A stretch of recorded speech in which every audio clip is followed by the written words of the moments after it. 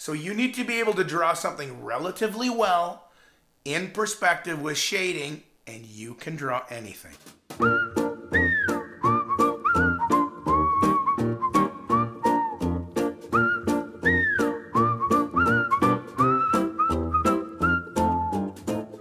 Schmid's book, Schmid, S C H M I D, look him up, you won't be disappointed. Uh, in his book, he always he always talks about uh, the secret squint. You know, where you have three quarters of the way close your eyes so you can see value and you can see stuff. So they called it the secret squint. Well, it's not very much of a secret because most of us do it, and if you're not doing it, you should squint. Um, so I call this the secret box because nobody knows about the box, but it's not really a secret. If you understand the box, everyone should know about the box. So it's not much of a secret. But if you didn't know, here it is. The box. You want to learn how to draw? Now, I've always maintained that you do not have to draw well to be able to paint. Drawing and painting are two separate things.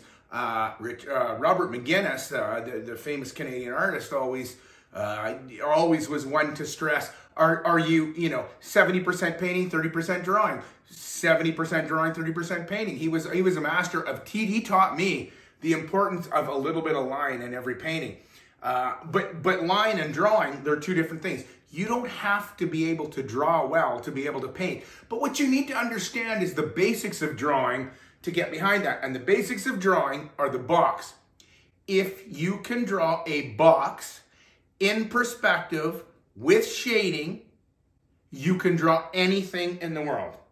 So I say that with my small grain of salt that says, if you're looking at a photo and you understand the box, if you can't find the box in something, I probably wouldn't paint it. So again, you don't have to draw well to be able to paint, but you need to be able to at least get an icon or an image out of something for someone to recognize. So, like I said, you don't have to you don't have to be a draftsman to paint, but you need to be able to go like this. That's an apple, and then you go, oh, that's kind of crazy. Uh, I guess he's doing a video and he's like super handsome and he's such a studly young man. Uh, I guess, and being the famous artist, that's an apple. I'm like, okay. Um, here's the difference. That's a cherry, not an apple. And the difference between this drawing and this drawing where I do this, that's all I've changed is a bump and a bump. That's all I've changed. That's the difference between what I'm talking about, about being able to be able to draw something well and, and, and having something not drawn well that isn't recognizable. You don't have to be good to draw you just need to make it look like the object that it is. So the, the, the thing about perspective is that if you're going to learn to draw, you got to learn some perspective. And I'm sorry, we all got to learn a little bit of perspective. If you learn a little bit about perspective, you're going to be able to paint better. But here's the here's here's the trick with perspective. Everyone has a perspective book. We probably got three or four of them in our arsenal. We all have the, the, the arsenal of our art books.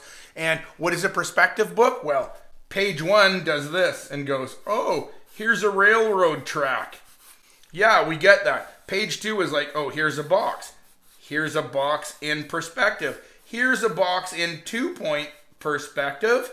And, and so page one is this, page two is this, page three is this. Then page three is some kind of church with a turret and there's lines and this and vanishing point here, vanishing point here, and a horizon line and things going here, and there's steps coming off, and it's like, oh, I just got confused. Okay, you don't need to know that this is what you need to know. It's called the rule of the cross. It basically says that anything vertical comes forward over anything horizontal. So these lines right here look like they come forward and this line goes away. Horizontal lines move away from you, vertical lines come towards you. If you understand that, then you're going to be okay. So this is born out of this that says here's your horizon line in your landscape and you have lines that do this and they come off and they get wider here and skinnier there. And so they get skinnier at the back, so they do this. And this is where you get your landscape. This says the brush marks need to be this big. Brush marks need to be this small. Brush marks here should do this. Brush marks here should do that. If you do that, you're going to gain perspective in your painting.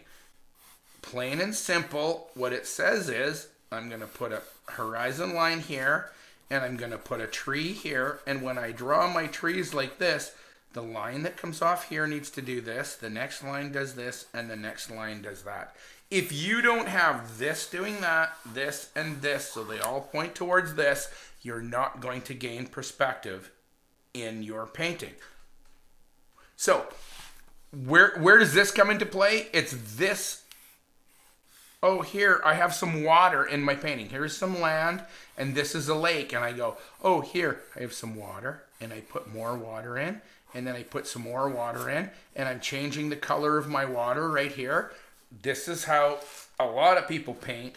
And let me tell you that if you do this, here's my water, and I paint it, and I change the angle of my waves, this comes forward, this lays flat. Uh, hello, mate. Let's go to Australia. Upside down we go then. If I turn this now upside down, I now have a horizon line here with land coming out, but this is now my sky. This sky says here's the bottom of your cloud that's going to be here. And here's the bottom of this cloud, and here's the bottom of this cloud, and the bottom of this cloud, and this cloud, and this cloud. What I'm saying is that when you paint your clouds, everybody does this. Here's my sky. Oh, I have a cloud, and another cloud, and then a cloud, and then a bigger cloud, and a bigger cloud. They do this. This is what I want you to now think is here's my cloud, here's a cloud, here's another cloud, and here's another cloud. So my sky is doing this, and my land is now doing this.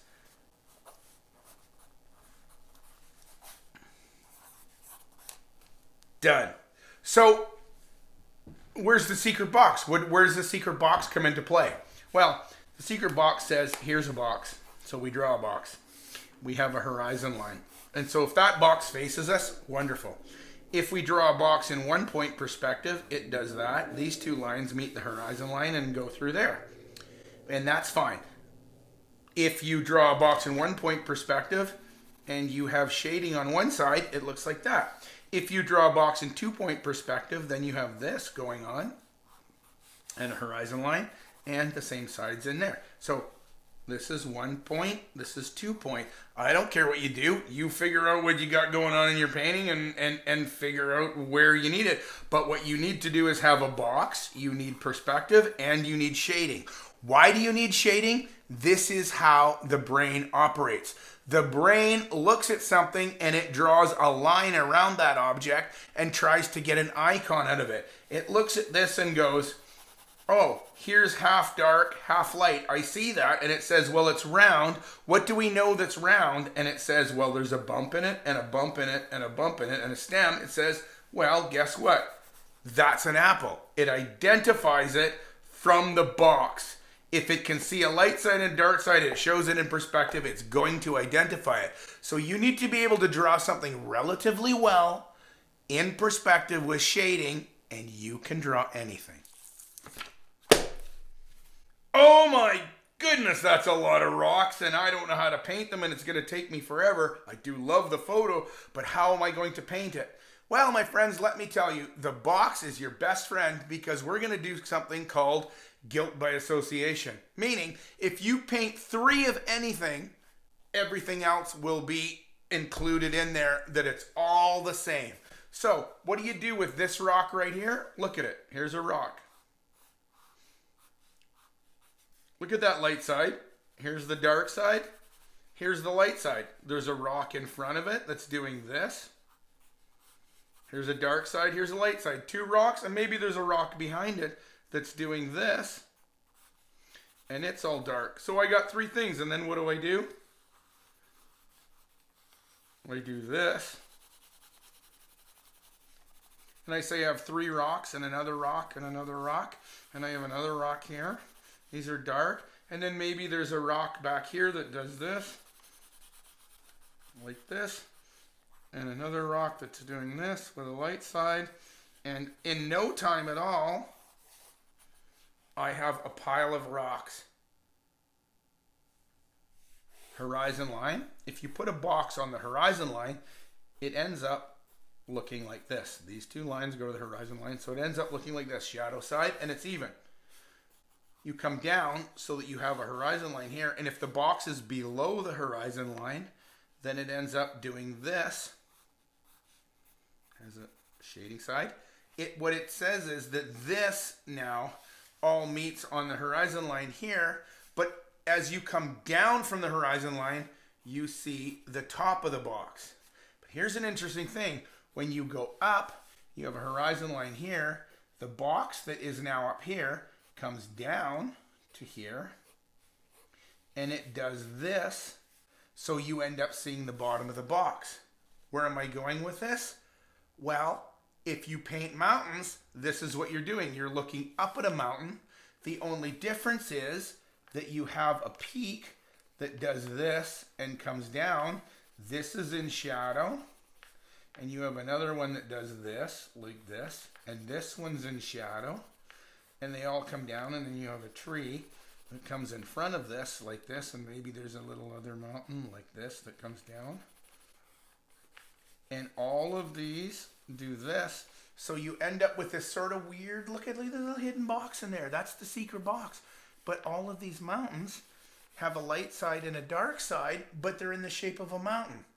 Let me go one step further and show you how you get there. All right.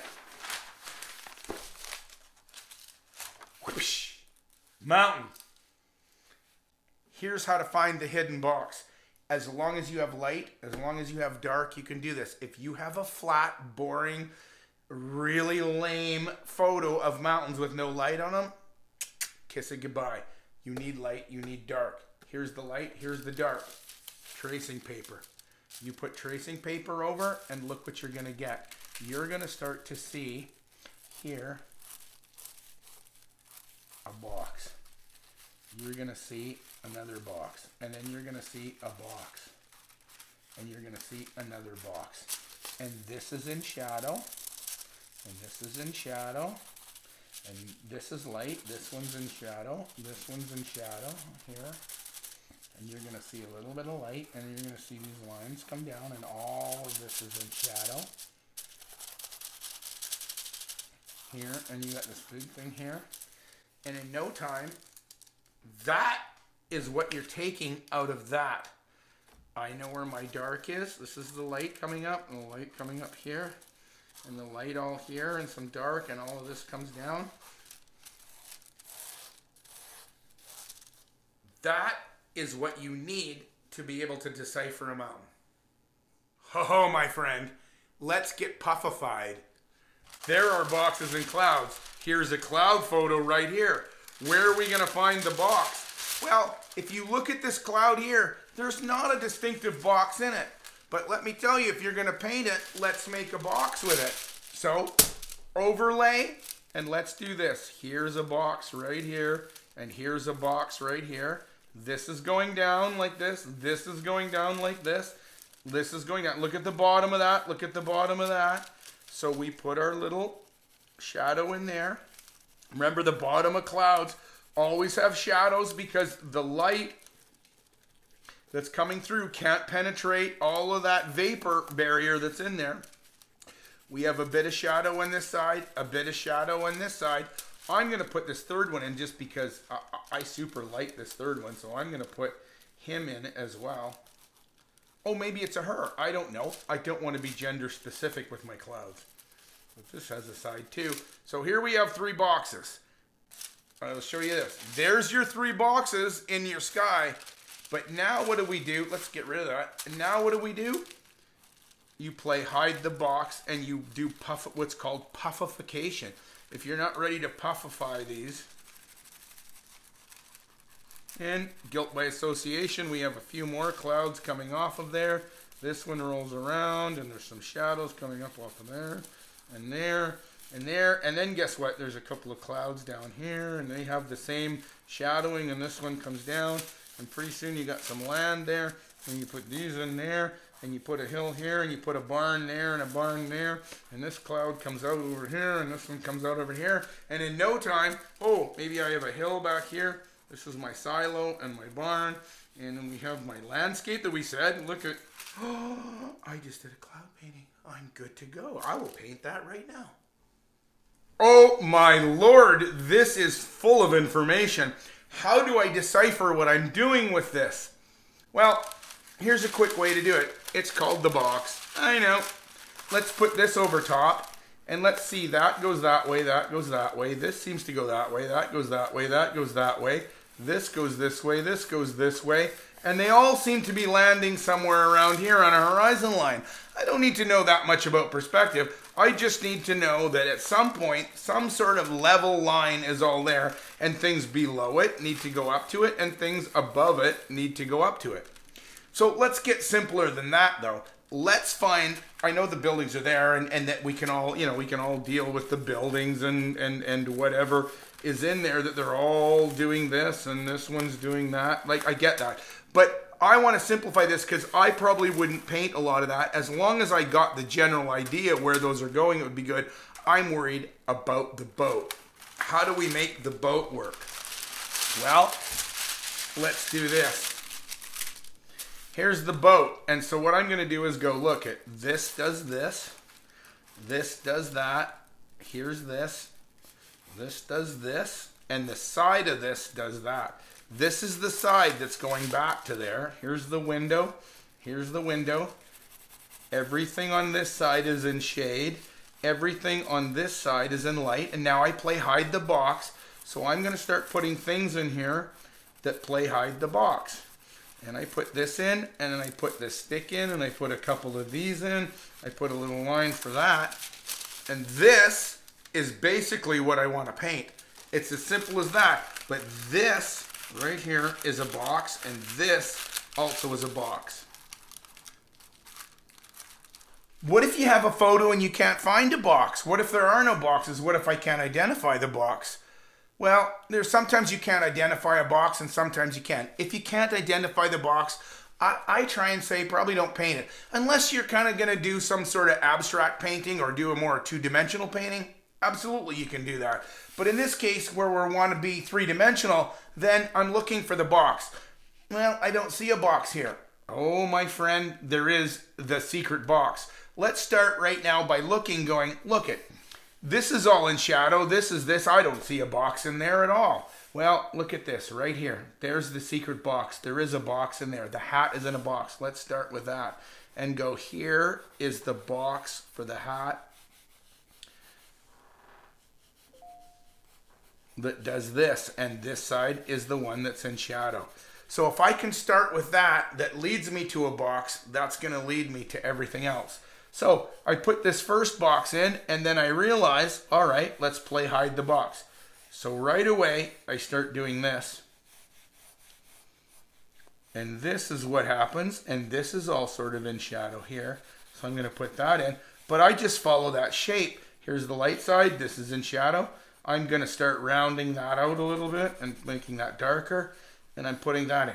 Okay, so this box that's here leads me to know that, believe, know that this face is also a box, which does that and says that this side of the face is in shadow. And now I know that this hat is light, but I'm going to want to make some of this light. So I'm going to put the shadow there, but I'm going to make some of this light. And again, playing hide the box, I'm going to do this and I'm going to round this out and I'm going to make this go up to here. This is in shadow, so we're going to give him a bandana now. And he wears, this is all light, so we put the bandana around here and we make this side of the bandana light. This is a middle rounder now and I'm going to start to fill it in. He's got some bushy eyebrows. Mr. Mexican, he's got good bushy eyebrows. That's light. We love you, man. He's got a mustache going on right here. He's got some hair going on right here. This is all in shadow over here. And all of this side right here is light. That's enough of a drawing for me to say, oh yeah, I'm gonna make this, I want a little more cowboy hatty. There we go, look at that, right? That's enough for me to say, hey, I could paint this now. I've got enough of a drawing that I could paint this, and I just took a box out of that.